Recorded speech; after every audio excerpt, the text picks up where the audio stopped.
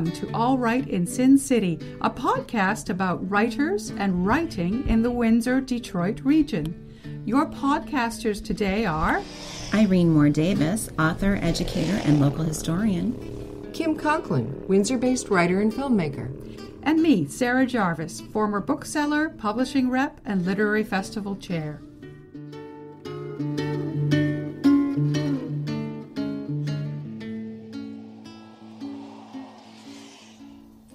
This podcast is a little different than our usual programs.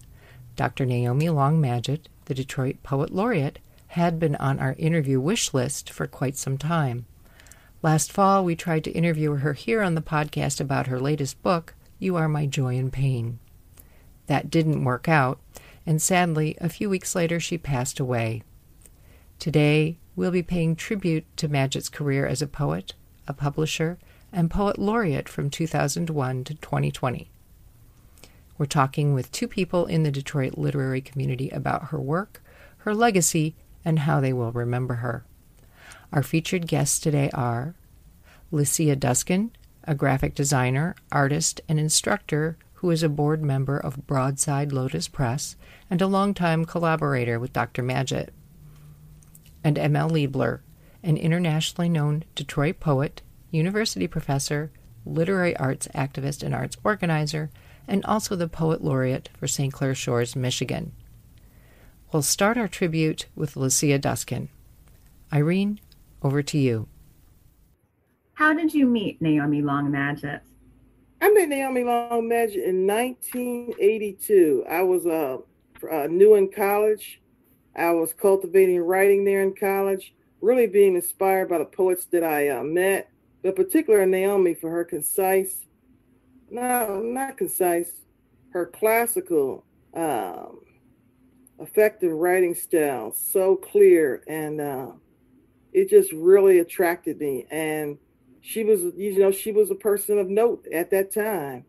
Um, I like the fact that um, as a writer, her writing, her work was very accessible. That's the word I'm looking for. And I was a writer more from feel. I wasn't particularly an, an, English person per se. And she was, and that really drew my attention because I wanted that. I wanted to know more about the the backbones, the building of poetry in a more formal way. So I met her, and she uh, knew of my graphics, uh, my graphic arts um, training, and from that point, she more or less uh, asked me to come along to join her with uh, assisting with publishing the books and, and, and printing the books. What was she like to work with? Naomi was great to work with. Um, she asked me to assist her, and I was new in the industry, but I was specializing in print right at that point. It was great working with her because not only did I find learn more about poetry, but I learned more about design and pagination and production. That's kind of what I was going into at that time. That was my focus. And it was a joy to work with her because while working with her, always an educator, always um, having a quick reference, her life, her timelines, how she had um, uh, grown up and uh, uh, through the 20s, 30s, 40s, 50s. We found um, ourselves talking about her family history and, and the like and the work just went smoothly because that was kind of the backdrop, the narrative of uh, our time together. And specifically, Naomi was a pioneer in using software and, and uh, application and software and hardware that was not being used much at the time. For example, she pioneered in using the Apple Mac computer uh, when they were first launching. That is to say, um, she had in her studio's uh, basement set up an Apple computer, a small printer. Um, I was going into that field. She would be the first, one of my early exposures to using the Apple Mac. It was just really fantastic to work for her because she worked hard and she let everyone who worked with her or around her know in no uncertain terms that poetry was her passion. Very much so. And therefore, you picked up on that. And, you know, you worked as hard as she did and you felt the value in the work of publishing these poets through Broadside Lotus Press. She started Lotus Press in 1972 and served as publisher and editor until it merged with Broadside Press in 2015. What did she set out to achieve at Lotus Press? In a word, excellence in poetry. Um, Naomi, being such a, an awesome poem poet herself, she inspired that in others. She was an excellent jurist, editor, and mentor for many poets. And it was her mission, her selfless mission, to promote Detroit poets and others and let those poets know that their voice was valuable and affirm them and have them be able to have their works produced in a professional way, to have them have their works promoted in a professional manner. I would say that was that was a great deal of it. And she did this knowing that it was to some extent a sacrifice of her own work. But she wanted to, she looked at the broader picture of others, definitely. And she talked about her own work. What kinds of things did she say? Her own writing. Uh, Naomi's writing is such a broad scope, um, accessible, complex, all at the same time. Uh, it has a historical stance from her many years. It uh, speaks to the civil rights movement. It speaks to her personal thoughts on love, emotion, places where she lived, traveled. Um, I think one of the things she talked about a lot to me is the force of poetry, that it had to come out, it needed to come out. She felt that her writing helped affirm poetry as a serious creative literature endeavor. Um, that is to say, she wanted to produce work that would inspire others, writing, poetry, and she was most proud of the press um, allowing other published poets to be published likewise. What did she like best about her roles as publisher and editor? Promoting good poetry, absolutely, absolutely. Um, she felt strongly that poetry should be produced well by way of broadsides, by way of poetry books. She felt that it should be well promoted and that poets be recognized in the uh, literary areas. She was mainly pleased and proud to promote the expression of others. Again, that's where the selflessness comes in because uh, while she had her own work, she took a great joy in seeing others come through um, the um, stages and ranks of poetry. That's great. And she was po- Detroit Poet Laureate as well. So, what did she take from that role? Did she take the same things, the enjoyment of supporting others? Yes, absolutely. Um, she didn't take it so much as something just celebrating her. She felt that through her, others would know, oh, poetry. Wow, okay, you can actually be um, have some notoriety for that. That is to say, others would look upon that, and for certain, it garnered her more exposure to provide lectures and discussion groups, workshops, and uh, speaking engagements, you know, uh, in Michigan and other parts of the country. She was very much enthusiastic to promote other authors. She knew that this the achievement was hers, but she felt that that achievement would be a, a mirror affirmation to others. Um, she felt that it not only celebrated her work as a poet, but it made others aware of poetry I specifically remember her saying that, and that it would inspire others. Um, and another practical aspect of her becoming a poet laureate is that it gave her an increased access to speak, uh, uh, provide mentoring workshops at schools, high school, and college. She most recently um, was involved in a uh, very nice uh, meeting with students. Um, that was the University of Michigan Hopwood Room in 2019. That was something she really liked, and having that title of a poet laureate of Detroit, that helped facilitate that, which again took her back to assisting others and in affirming poetry in uh, in others. Um, I think if there's one vain thing that I recall Naomi having was her license plate, Poet One. That's fantastic. Yeah, I said, you go, you get that plate, you get that license plate, and it was that was one of the few things that she did that was kind of uh, you know visible. But otherwise, she was very humbled and honored by the uh, award uh, given by then Dennis Archer. Very much so. Also joining us today is M.L. Liebler, an internationally known Detroit poet, university professor, literary arts activist, and arts organizer who has also founded and directed many key literary organizations.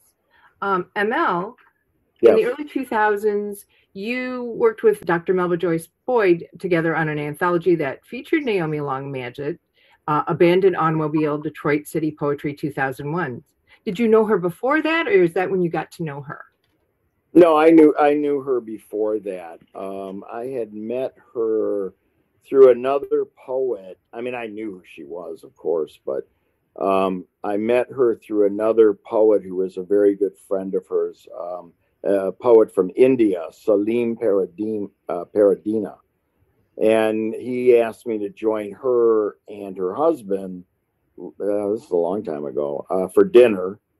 And that's when I really got to know her personally and uh, at, from that point on, I don't remember what year. It must have been in the um, the, 80s. Yeah, it had to be in the 80s. And and, and uh, I think Lucia's in the um, abandoned automobile, aren't you? Lucia? You know, I couldn't verify it. I wasn't sure. Uh, I have one downstairs, but I'm yeah. pretty sure that you were on the scene at that time for sure. I was and that was the beginning of me meeting her and our our lifelong friendship was for me it was 82 yeah Stella so i was a couple of years Ron Allen all them. Yeah I, I can't remember why we were having dinner at what is now that uh, the cafe at the at the majestic there. Right. The restaurant. Uh, so anyway, I met her and her husband and Salim. I don't know why we met. If we were all going to a reading or something, uh, after or just just a dinner. But that's when I got to know her. And then I worked with her. Uh, and let's see, you might remember this too. Remember when she had the anniversary for uh, for her press? Yes, the fifteenth. Uh, t- uh, now I'm remembering a taste of poetry. That was one of them. And this uh, was at her church. Yeah, there were a couple. Yes. And but, I yeah. Mm-hmm. What happened is she called me. I was running the writer's voice at that point, and she called and mentioned that, um, you know, that she was having a hard time getting, well, funding together, of course, uh, but she was bringing all the poets in. That's when I first met Herb Martin and all those guys, uh, of many of the people on her press. And um, so I said, well, you know, that's not really a big problem. We'll just do it through the writer's voice and get everybody paid and get some plane tickets. And so we worked on that. Um, and, and uh, you know, I was part of that. I mean, I was added. I don't think I was part of it. I was added though for the weekend. It seemed like it was a weekend of events. So uh, so that was another thing. In fact, that's where uh, that film about her, I remember that they interviewed me at that event or something in a side room. I haven't seen the movie in a while, but um, so that's that's my and then we just remained friends and uh, you know she did readings and came to my classes. We used her book uh, a few times and you know always included her and she always was you know ready to do stuff yeah, Naomi would turn up at a, a, a poetry reading of 10 people or 50. She right. was she was so much there, you know, and she was older at the time. So I was like in my 20s, so she would have been in her 50s. And I'm like, oh, okay, this is really cool. And then when I heard her poetry, I was like, I really like this because I didn't have a formal background. She did, but yet it wasn't difficult poetry as some uh, older poem, older poems from the 19th century could be yet it was it still had that classic feel. I just fell in love with it. I fell in love it, with her work. No, and my students did too, and that's one of the things. I mean, she was very much an accessible poet mm-hmm. and a um, you know, a poet that, you know, you didn't need a PhD to to get what she was saying, but she still said it elegantly. Her last book or the newest one is really quite incredible. Um the love poems yeah, it's really. I mean, I now you know I wish she was here. I would definitely have her come in and use that book and uh, that because that's just a great great book of poetry. Um, then there was when she, what year I don't remember exactly the year. I'm thinking it was 2000 when she yeah it had to be 2001 or something when she became poet laureate. Dennis Archer named her, and um, she she invited a bunch of us to the Manoogian Mansion for a big celebration that he was putting on. Uh, and he, him and his wife were great, and they were there. And uh, poets, I imagine Ron Allen would have been there at that time. Uh, there was a good handful of us out in the backyard of the Manoogian Mansion. That was a very cool event too. I, I, I think I was remembering like, wow, I wonder, you know, what they're thinking about when they let all these poets in here. How did Naomi Long Madgett interact with the Detroit poetry community and with other Detroit poets? Uh, she was always willing to participate. She was definitely a, a, a, poet of the people. You know, I mean, if someone like uh, Lucia said, if someone asked her to to come to a class or do something, of course, that's the role of the poet laureate. But this goes back before that. Even she did it there was no airs about her um, thinking, well, I'm too famous. She was. She was. She's really a legendary name. Uh, people all over. I remember doing a reading at the University of Kansas, and the guy that was in the English department there came up to me and he said, "You know Naomi Long Madgett? She's an old friend of mine, and uh, I'd like to see her again. And and uh, when I got back from there, this was '87. When I got back from there, uh, Naomi knew who I was talking about, and then uh, that guy came to Detroit. I think he had lunch with her or something uh, from from Lawrence, Kansas. Um, so she was always open to it. She did incredible stuff, especially as she was getting older. You would think like you know she might say, "Oh, forget it," but she that we did a thing not too long ago at the um, at the uh, Detroit, you know, the DIA during Concert of Colors. They had an event around the Confederate flag that John Sims. I don't know if you were there, Lucia, but John Sims, who is a former Detroiter and an artist, he put together this whole project. And he had singers some well known and so forth do different versions like a bluegrass version of dixie and i think it was called dixie reconstructed or something. And um and and naomi was one of them and they he had us read at this big event at the dia on in the film theater uh, Naomi came, and you know, I was thinking, oh my God, is she going to stay for this? Because you know how poets are; once they start reading, they can't shut up. Uh, this is uh, true. And, and she stayed, and then finally, and I thought, geez, it was little, probably eleven at night or something. She said, whoever drove her said, you know, I I think I, I better go home. I'm thinking, oh my God, you stayed here from like seven until now, you know I mean, I would have gone home if I could have, if I could have gotten out of there. But, um, but I remember that I was thinking she had to be what she was 97 when she passed away. She had to be like 90, 93 at that point. Yes, was, like I was saying, she just read for U of M for one of their uh, reading groups, 2019. I accompanied oh, wow. her to that. You know, she was going less places alone, but she was still very, very active and I'm just, you know, so thankful to have been able to accompany her as a friend and assistant to some of those events because, again, it was so much that you could get from that listening to um, her um, interact with those individuals. How would you describe her work? Well, her work is it, it is deep on a poetry level. Um, I mean, it's sophisticated poetry, but it's accessible as I was mentioning, you don't need a PhD to uh, read and understand her work. Now, that doesn't mean it's not, you know, deep enough. It is. Mm-hmm. Um, if you look at it, where she takes it, but see, she also was something that poets in the 20th century are, uh, you know, are not. Herb Martin can be like this too, is a formalist. I mean, she would rhyme, but she understood that it wasn't like just rhyming like in songs. It there was measures, there was beats, there was you know uh, uh, feet and meter and all of that went into her work, which I'm always telling my students now is what poets did back then. So not only did they have their great ideas like we all do, but they had to work in a form, and that's where the craft came in. And she was a craftsman for sure. Absolutely. Yeah, she was. She she knew that stuff. I wish I knew it like she does. I, I'm interested when I teach it.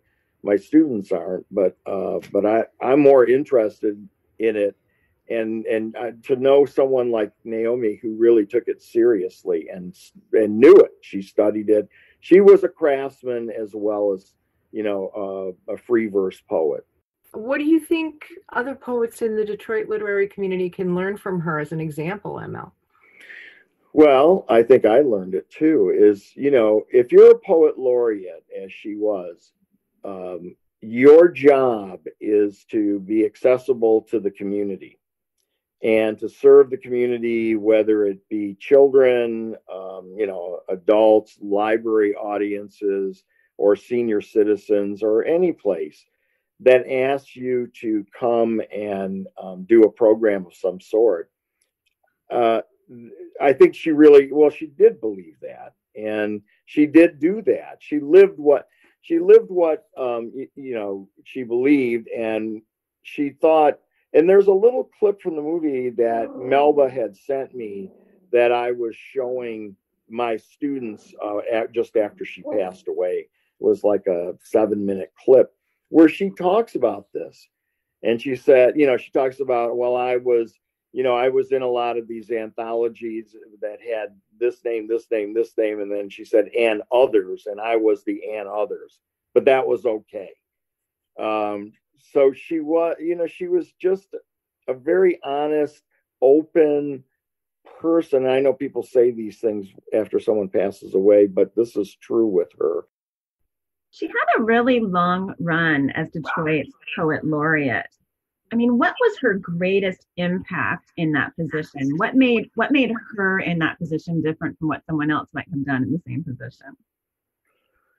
Well, we'd only had one before that, uh, which was Dudley um, in Detroit. But the, the, the idea of a poet laureate is um, of someone who is there to help the community um, when needed and when asked, or you know, if we ask them, uh, but to serve by reading, discussing, doing workshops with poetry um, you know, if you're really taking your poet uh, poet laureate status seriously as she did, that's what you that's what I think you need to do. Maybe I just thought that watching Naomi in particular.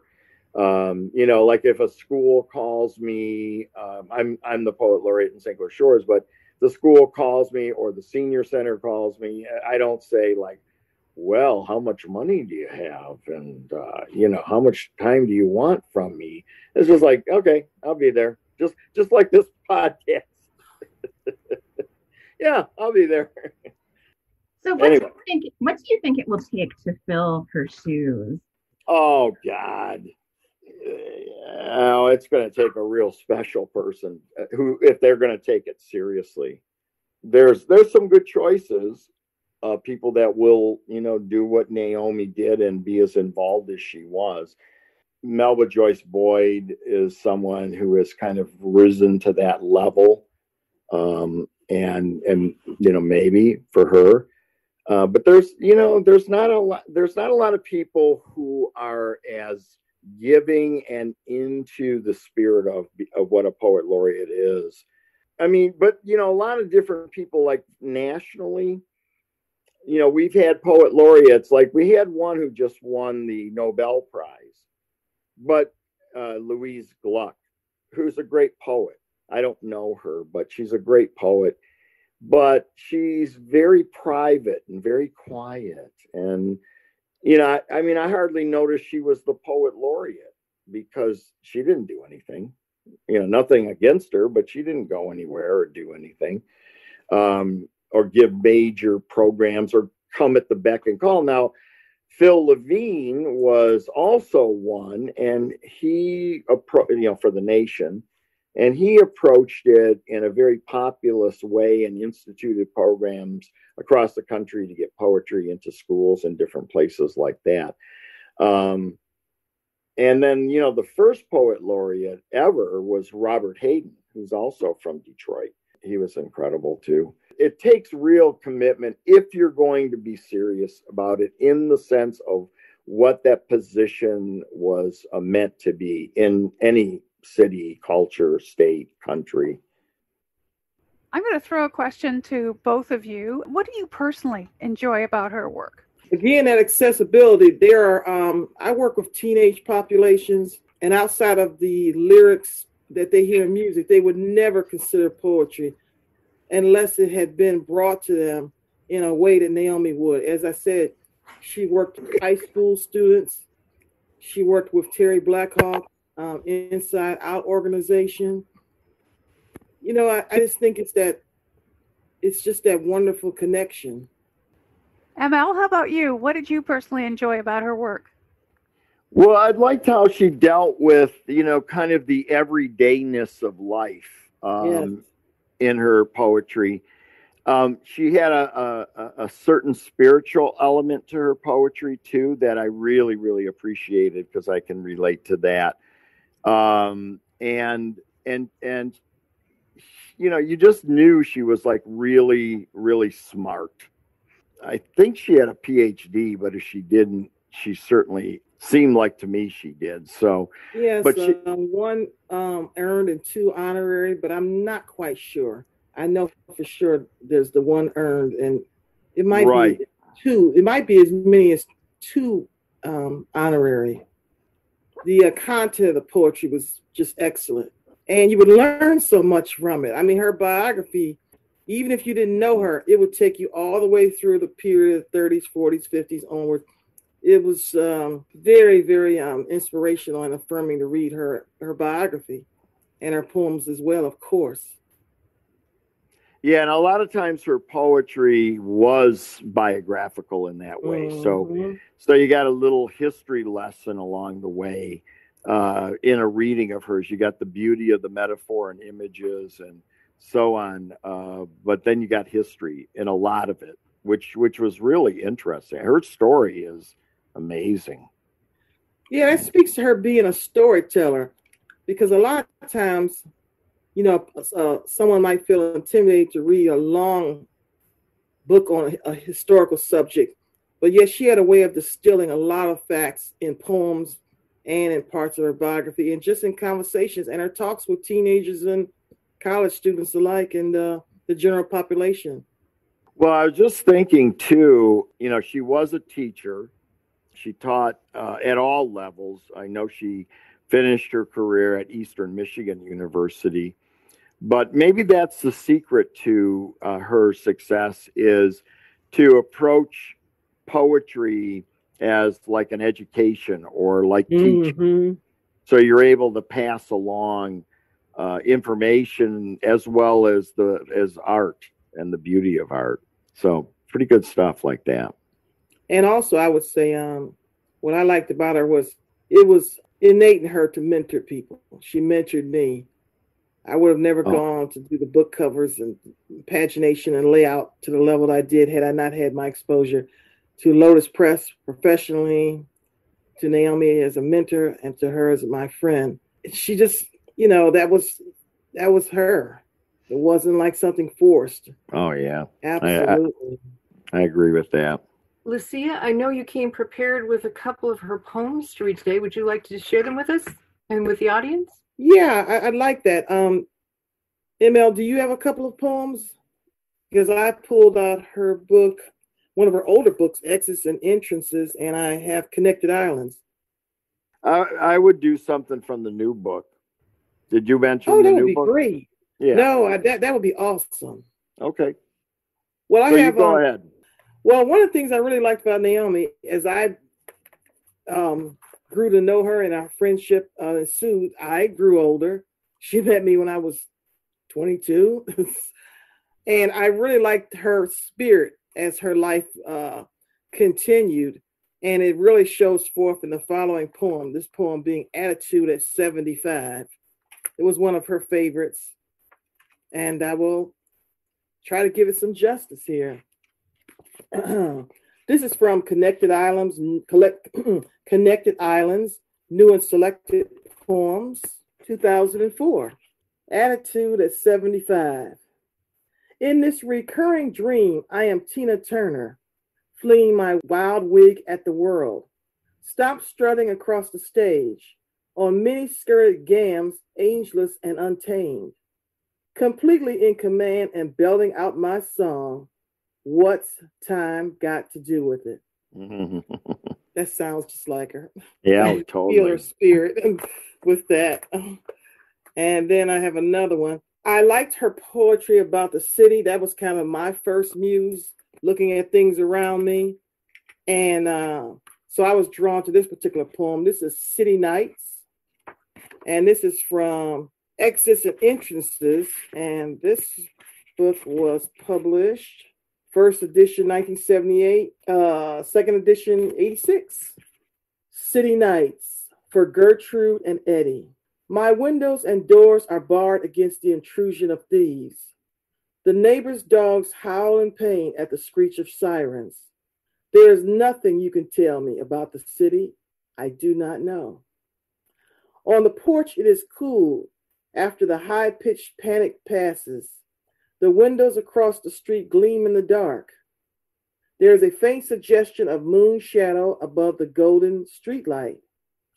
The grandchildren are asleep upstairs, and we are happy for their presence. The conversation comes around to Grandpa Henry, thrown into the Detroit River by an Indian woman seeking to save him from the sinking ship. Or was he the one who was the African prince employed to oversee the chained slave cargo, preventing their rebellion, and for rewards and for rewards set free? The family will never settle it somebody lost the history that had been so carefully preserved. Mm. Insurance rates are soaring. It is not safe to walk the streets at night. The news reports keep telling us things they need to say. The case is hopeless. But the porch is cool and quiet. The neighbors are dark and warm. The grandchildren are upstairs dreaming, and we are happy mm. for their presence. It's beautiful. Thank you. that you. right there is a great example of yes. the person we're talking about. Yes. How it there's a you know as I was saying there's some history a little bit mm-hmm. family history, and then that touching touching kind of conclusion. And mm. that hope.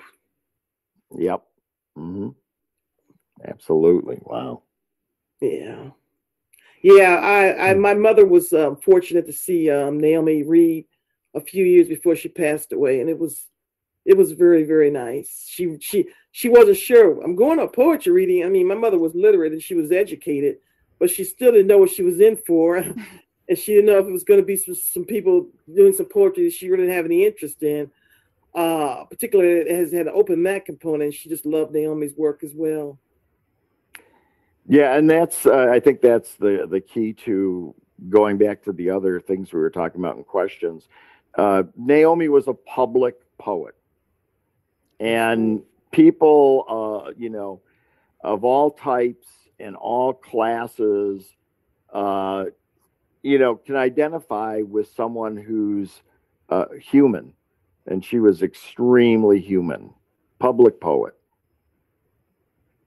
And yet, she could. Um, she was. She had the ability to apply a high rigor of uh, academic standards. Oh or, yeah. Or, child, I don't know if I'm saying it right. ML. She no, a, she she she, she's as an English professor and as a lover of words and grammar and structure, she had that as well. Mm. Uh, and and was just like I said earlier, an excellent jurist and editor to be able to seek and have that sense of talent, see that talent and advance that talent through the efforts of Lotus Press. Absolutely. We're gonna do another one? Yeah. Um. No, I'm I'm all set. I would like to um hear what what you have, particularly from her new book. That would be awesome. All right, here's a here's a couple, and this new book is just extremely moving in many ways, and you can kind of see a career and life worth of poetry, sort of all gathered in uh, in her book, in the new book. This one's called Arrival. Let me come into your days easily not as a strange knock at the door of a busy housewife or a bell's intrusion upon sleep. Let me just be there, like a pillow on the sofa, familiar and expected. Let me be something that always was and needs to be reassuring and necessary as sails and stars and harbors that are home. Yeah, see? Yep. That's it and I think it all is really, you know, she's bursting at the seams to release this poetry, you know, in her later years, and it's just beautiful. This is one called For You. How like a jasmine you bloom in my garden of remembrance. Daily you bless me with the fragrance of once love. Even in winter, April, small buds promise the casual touch of hands. Perhaps I will dream you tonight. It is there you will love me forever as perennial blossoms burgeon in ever renewing spring. Yeah, I love the references to nature too. Uh, mm-hmm. Yeah. Yeah. Well, I'll fin- I'm going to just, this is a short one, but in talking about nature, and uh, this is a perfect one in her new book called Next Spring. When I hear robins singing that all relinquished things shall come again, and when bright April's golden promise comes to bloom, then shall I put aside my heart's accustomed yearning to know that soon my lover will be homeward turning. My heart shall bid farewell the ache of winter's gloom and say goodbye to cloudy skies and rain when I hear robins singing. And there you can hear her rhyming uh, structure and, and play clearly. Yeah, that makes me also think about the fact that she could write various forms of poetry, having um, studied from the mm-hmm. greats. Um, yep. And she was willing to publish people's poetry. She was willing to published various styles of poetry. Yeah, she was.